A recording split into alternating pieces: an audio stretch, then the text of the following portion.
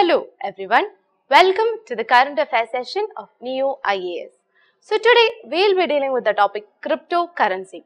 First of all, let's see why this topic is in news. The central government is planning to introduce a law to ban private cryptocurrencies like the Bitcoin and is trying to put in place a framework for an official digital currency which is to be issued by the Reserve Bank of India. Now let's see what a cryptocurrency is.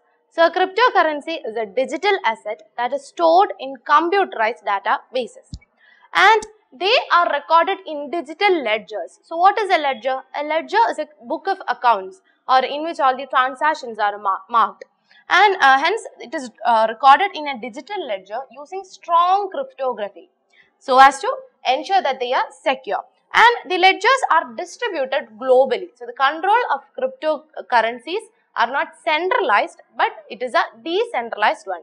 So these uh, ledgers are distributed globally and each and every transactions that are uh, taking place using these cryptocurrencies will be codified as blocks within these ledgers and multiple of such blocks will link each other. Linking each other will form the blockchain of distributed ledger.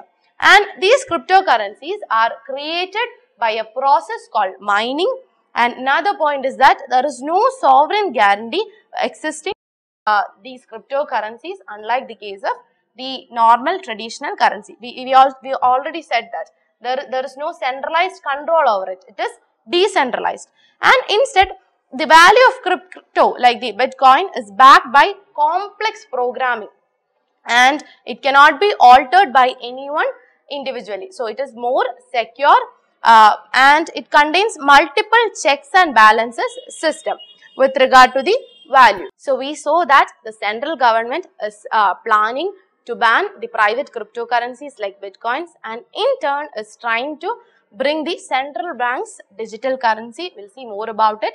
So, unlike the privately held cryptocurrencies, the central bank digital currency will have the backing of the central bank the Reserve Bank of India and in turn it will have the backing of government. So, it is a centralized one unlike the private cryptocurrencies and this could simply mean that the RBI the RBI would convert a share of Indian rupees in the economy into digital format and it will not have any currency bills to back it up and uh, so it will be in digital form backed and issued by the central bank. Another point is that RBI is not the first central bank uh, so as to bring such a digital currency also as to bring such regulations. In fact, RBI is said to be lagging behind when it comes to the regulations of all these private uh, cryptocurrencies and all.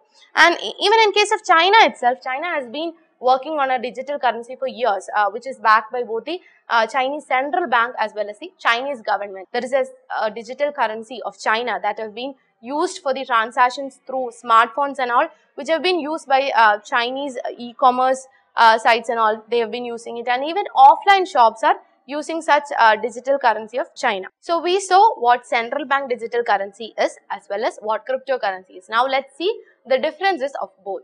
So uh, central bank digital currency is a traditional money. It is just that this traditional money is in digital format and it is issued and governed by the country's central bank that is the RBI and by contrast in contrast the cryptocurrencies like the bitcoin and another one the facebook's libra facebook's cryptocurrency is libra. So such uh, cryptocurrencies are produ produced by uh, solving complex max puzzles and they are not uh, governed by any centralized authority but instead they will be governed by disparate uh, the online communities instead of any centralized body. And cryptocurrencies by nature works on the principle of anonymity.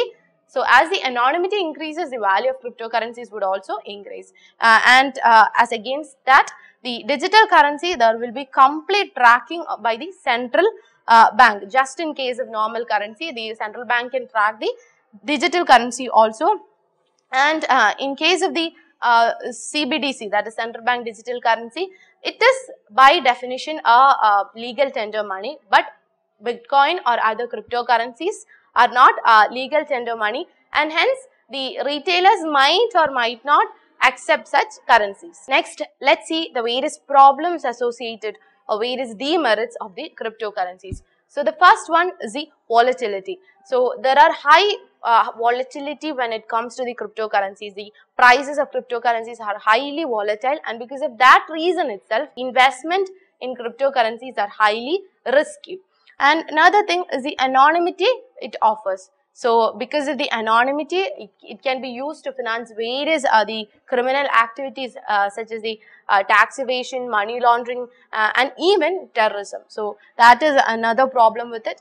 Then non-sovereign. So, it is uh, completely controlled by a decentralized system uh, and is by the non-sovereign. So, there is no governmental control. It is completely regulated by the uh, private enterprises only. Another point is that there is no intrinsic value to the cryptocurrencies. So, it is neither a store of value nor a medium of exchange and it lacks all the basic attributes of that of uh, normal currency. So, it lacks intrinsic value uh, then there is high un uncertainty, high fluctuations when it comes to the uh, cryptocurrencies. It is not a legal tender money that is no jurisdiction is accepting it as a legal tender. There is a lack of accountability of both the users as well as uh, the exchanges that are happening within the system of cryptocurrency.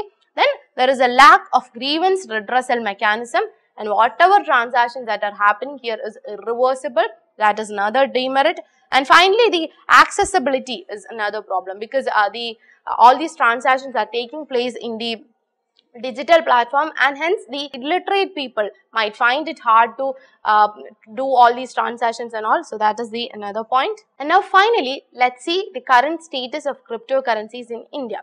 So, in India, the cryptocurrencies are neither banned nor legalized and even the RBI had, has attempted to ban the banks from dealing with cryptocurrencies but that ban was overturned by the Supreme Court of India in uh, March 2020. So, which means that currently there uh, technically there are active transactions happening with the cryptocurrencies across the country and it was in this background that the uh, central government uh, put forward the plan of uh, banning the cryptocurrencies and it was in this background that I decided to bring the central bank digital currency.